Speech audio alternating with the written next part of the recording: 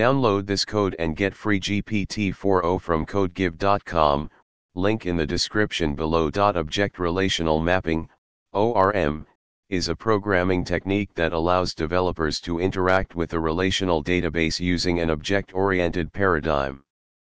ORM frameworks provide a way to map database tables to classes and objects in programming languages, making it easier to work with databases without writing complex SQL queries. When to use ORM 1. When working with complex database structures, ORM can simplify the process of interacting with complex database schemas by abstracting the underlying SQL queries. 2. Rapid development ORM frameworks can speed up development by providing ready-to-use methods for common database operations like CRUD, create, read, update, delete. 3. Object-oriented design ORM helps maintain a clear separation between the database schema and application logic by representing database entities as objects.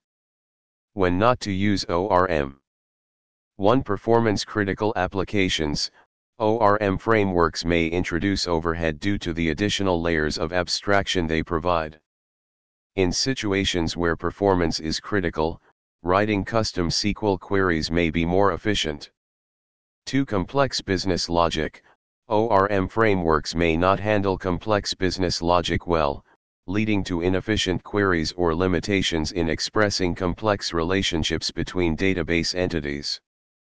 3. Limited control over SQL queries ORM frameworks abstract SQL queries, which can be a limitation in scenarios where fine-tuning SQL queries for optimization is required. Example of when not to use ORM. In the provided code example, using ORM to fetch all users may introduce overhead in a performance-critical application.